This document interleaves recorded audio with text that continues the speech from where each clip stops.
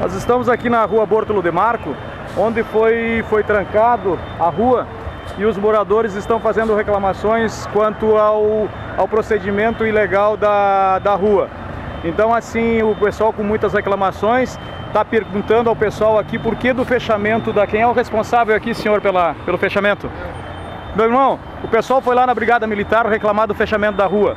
Autorização de quem que o pessoal tem? Não, eu não, eu, eu fechei para a segurança das pessoas. Pois é, aí o pessoal esteve lá na Brigada Militar pedindo explicações à Brigada Militar e ao Conselho de Trânsito da autorização para o fechamento da rua. O senhor tem autorização? Não, não tem.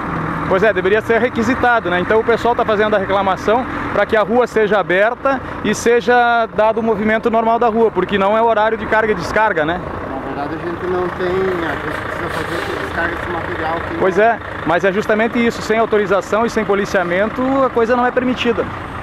Então o senhor providencia isso. Você pode ficar tranquilo. Tá tranquilo. Obrigado, Rogério Machado Blog.